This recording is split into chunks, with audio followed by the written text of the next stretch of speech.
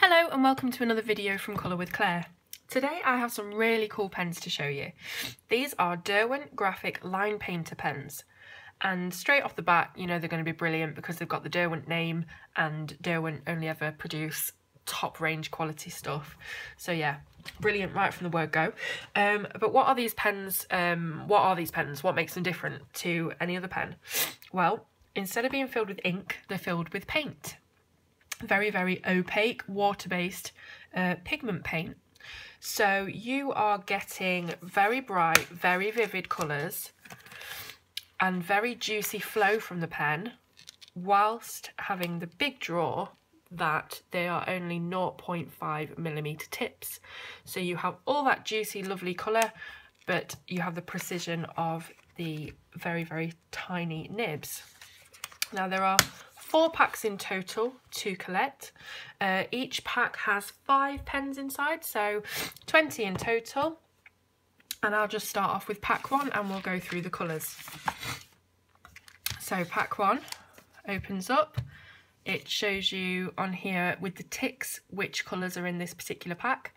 And it shows you how to activate the pens when you first get them, which is really simple.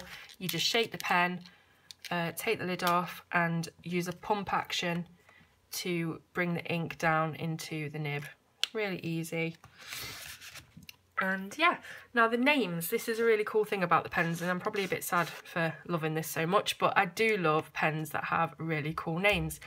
And each name of each pen um, sort of goes with the colour and you'll know what I mean as I, as I uh, continue to show you. So this particular pen is a yellow and it's called Brick Road. So for obvious reasons, Yellow Brick Road. You won't be able to see that very well, obviously it's a really light colour. This one is called Tom.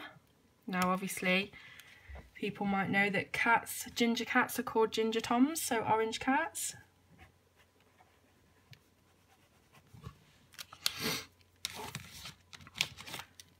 This one is red and it's called herring, red herring.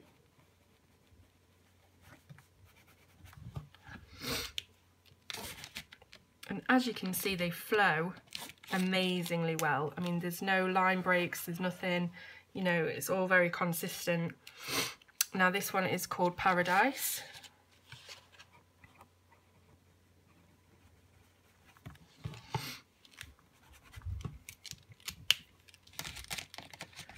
And this very light pale green is called Minted.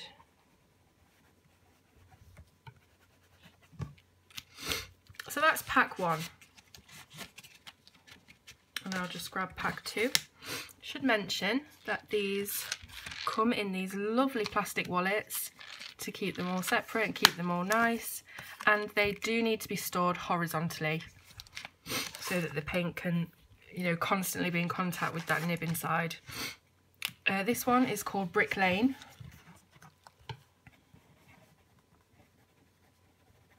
And it's a very dark, sort of reddish brown. It's obviously light bricks. This one is called Envy, Green Envy, Green with Envy I should say.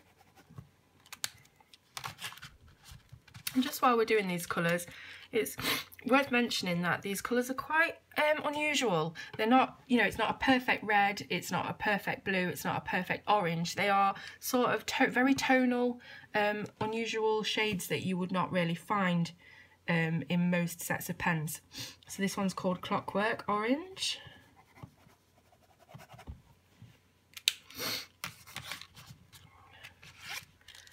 Uh, this one's called High.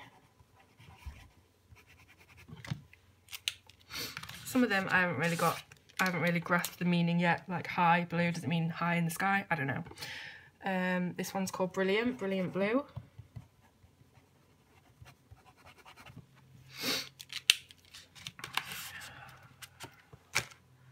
And then we move on to pack three. And we have, this one is called Blood.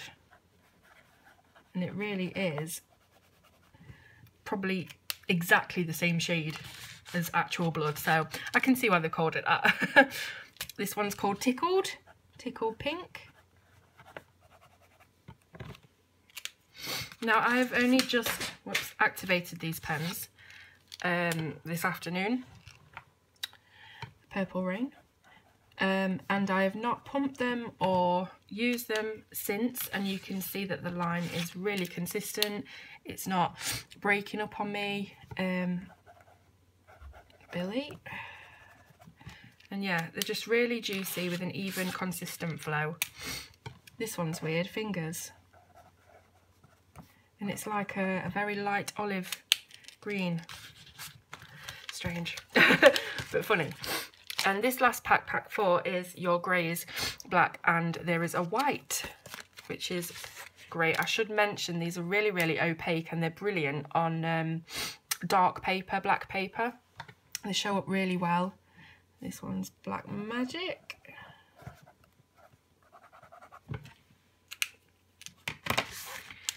And we've got Silver Fox. This is the only metallic in the whole set. The rest of them are matte.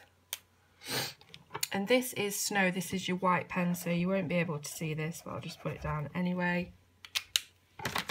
Now, the great thing about these pens as well are that they are permanent. So you can colour with them and when they are dry and they're actually really fast drying as well. Um, when they're dry you can go over them with another colour and it will not affect the first colour that you have put down. You can go over them with water. If you spilt some water on them, they're not going to bleed, they're not going to fade. They're completely permanent. So yeah, brilliant in that regard as I said, they are, just put these back, they are really, really fine nibbed, so perfect for the intricacies of adult colouring. And I will just demonstrate that here. So, as you can see, getting into really small spaces, but the colour is very juicy and very, very bright and vibrant. So pretty much ideal. Those of you who use Uni Posca pens will be familiar with these, these types of pens, paint pens.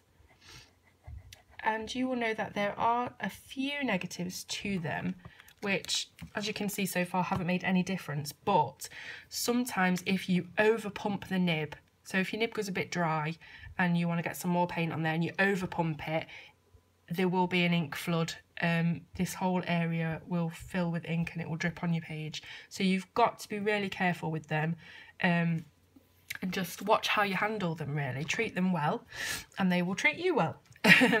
but saying that, there are some really cool effects you can make when you purposefully flood the nib, which I'm going to try and demonstrate for you now, but you can guarantee it won't do it. So I'm going to flood the nib. Ah, here we go. And as you can see, a big glob of pink has come out. Now you can either use this to make effects, obviously not on this kind of picture, but if you're just, you know, drawing and doodling, you can make some really cool effects. You can blow to make some effects.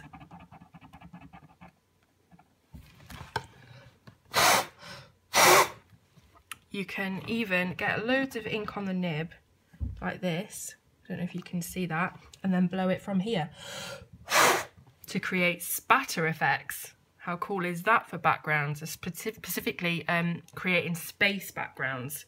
I can see that being really cool.